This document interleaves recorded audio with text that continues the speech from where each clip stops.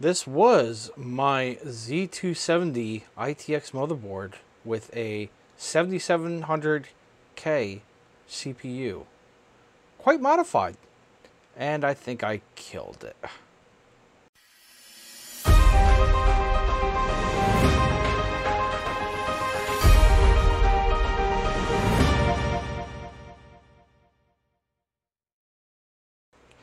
Can you see what I screwed up on on this motherboard just by looking at it right now?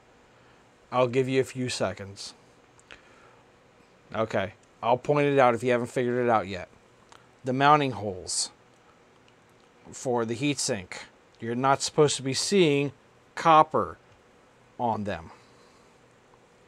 So yeah, I screwed up. There are traces underneath here because I was trying to upgrade it and put that on it, the Liquid Freezer 280. But they also give you for the Liquid Freezer 280, I think I still have them on the back here. Yeah, here. They give you these little sticky rubber washers because it needs to mount directly to the motherboard. So this way you don't screw it up. And I put them on the back. But I was um, kind of distracted when I did the front. And I completely forgot to put them on.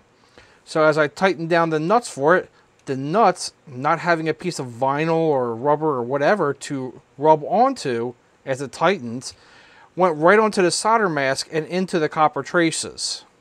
So the motherboard started up, didn't do anything, and it has like a row of LEDs underneath here. And it was lighting up for about 15 seconds and then that's it. If you try turning on the power now, it doesn't do anything other than pull 35 watts. And there's like a little LED, a little amber LED off to the side here that says, hey, I have power. And that's all it does. Doesn't post, doesn't do anything. Uh, the RAM is still good because the RAM, I couldn't have my gaming computer down. And yes, it is over there running. So I switched it on over and got a ASRock B550M Steel Legend motherboard. Open box from Micro Center, so I saved like $25. And a Ryzen 5 5600X from Micro Center. So this way the unit is back up and running. I know it's not supposed to be running on 2400 megahertz RAM, but it does work for the time being until I get 3600 megahertz. I'm waiting for that to come in. But the RAM still works. So that leads me to believe, since the RAM wasn't here, come on, focus. Thank you. The RAM was in here. The RAM is still good. This unit still pulls 35 watts when you try to power it on, but it doesn't do anything. I believe the CPU is still good. I think we're just having issues here. So I'm going to attempt to repair this, but my hopes are not very high. What we're going to do is try to sand away very gently the solder mask in this area so we can expose more of the copper traces. And then we'll lay a little bit of solder on it, hopefully, and repair it and find what was broken. And maybe we'll get lucky and revive this. And the reason why I don't want to buy another uh, ITX Z270 motherboard is the only place that they're still available is in Israel. And this board came from Israel. And I don't want to wait a month. So if I can't get the motherboard to work, I will sell off the CPU and throw away the motherboard. But let's give it a shot and see if we can revive it. Okay, so I got my little Dremel here and a very, very fine sanding disc. So let's see if we can just touch it a little bit and see how much damage I can do now. See, now you can see the copper traces that are coming underneath here. We gotta find out what's broken.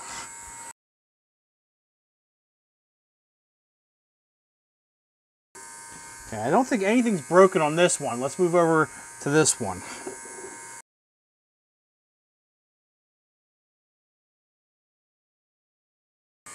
That's definitely a broken trace.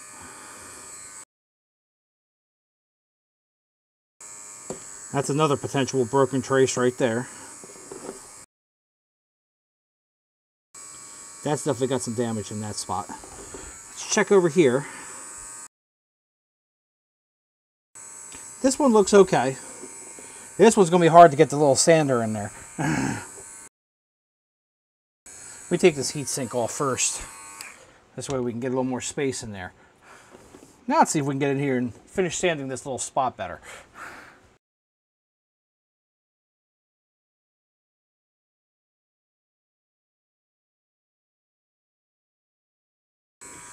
We're missing a whole big piece of trace right there. Okay, so I see right here, one trace right here is completely blown out. Right there, on here, this one looks okay. This one, I'm missing part of a trace. Would help, yeah, okay. Right here, I am missing part of that trace, and possibly this one needs to be touched up. This one looks okay. This right here, I think I gotta sand that down just a little bit more, because I'm not sure if that's uh, solder mask or if that's a broken trace. Let me see that. Okay. That trace is okay. So, it looks like we have a little bit of damage right here. Definitely right here. And then over here, I'm not seeing any real damage. It looks like we got okay on this one and this one. This one and this one needs to be repaired. So let me get set up for that. Okay, what I'm going to attempt to do is up here where it looks like they're kind of beat but not completely, I'm going to tin them and see if that helps refill right there. So this is just a little bit of flux. And that looks a ton better now than what was. Now, I'm not sure if I can tin this. Let's give that a shot because it looks like too much of it's worn off. Yeah, see the differential pair that's sitting right here tinned nicely, that didn't. So I'm going to have to do a further repair to that. So give me a minute. Okay, so I turned it around so I have a better view so I can work on it. But let's see if we can repair this.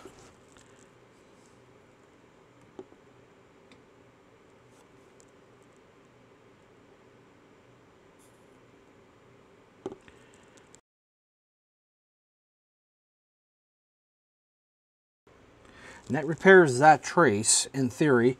We'll have to test it to see if it actually works. And I think that's all we have to do on this one. This hole was okay. So this is going to be the trouble one. Because I got this long piece right here that I also need to fix. And I think that's it really. It's just this one trace right here. I don't see any other issues.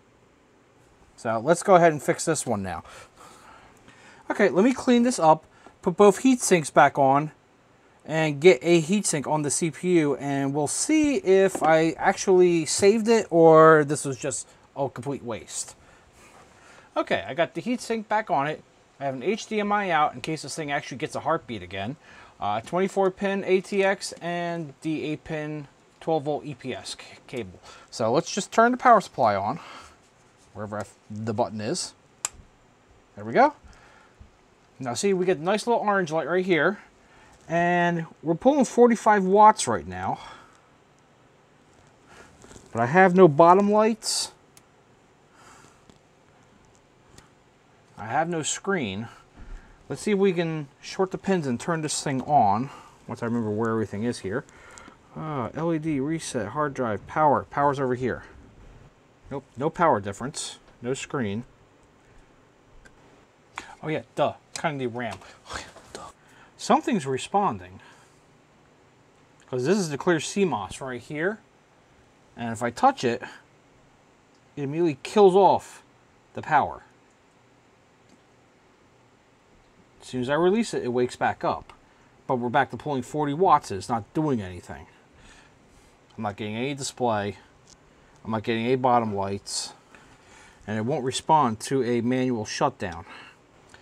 Okay, so I'm at a loss. We've repaired the traces, but I think what's probably happened now is when the nuts originally wore off the solder mask and not only rubbed off some of the traces, but also shorted some other traces, chances are we've probably blown up one or two more chips somewhere on this board.